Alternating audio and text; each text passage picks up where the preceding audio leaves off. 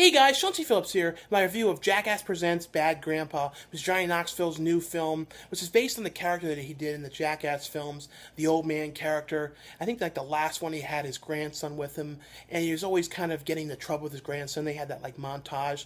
But the movie's done in that style of films like Borat and Bruno, where they have a storyline mixed in with the hidden camera, pranks, and they you know have parts of the storyline on the unsuspecting people through the hidden camera. So the movie's pretty much all shot hidden camera, except for a couple different things, which were the scripted stuff for the movie to keep it going on.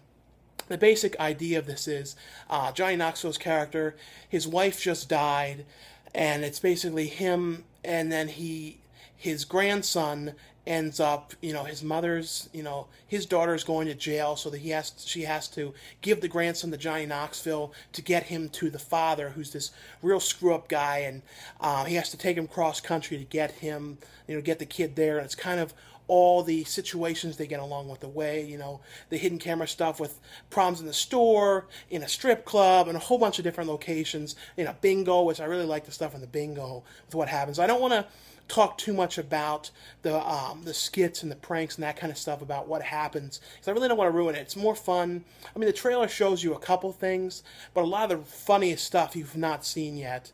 Um, it was cool too. Jill Kill, you know, from YouTube, a friend of mine, she appears in this film in the pageant scene. So being definitely be on the lookout for her. Uh, you see her interviewing the the girls in the pageant. Um, but I don't know. I really enjoyed this film. Was, I thought it was a really fun film.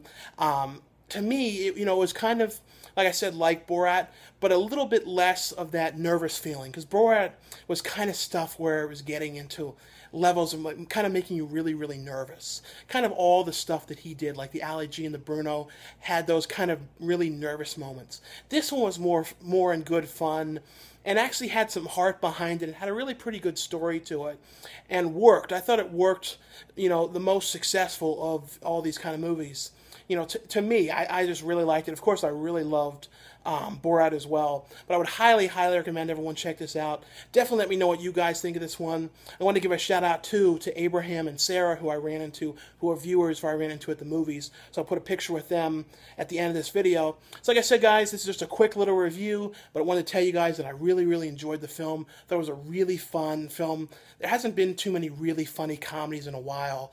Uh, so that's, you know, I like going to like these kind of things that are really just sort of just for fun, you know, like just a fun time. And this is definitely what this was. Anyway, though, guys, thanks a lot for watching, subscribing, and I'll see you guys later.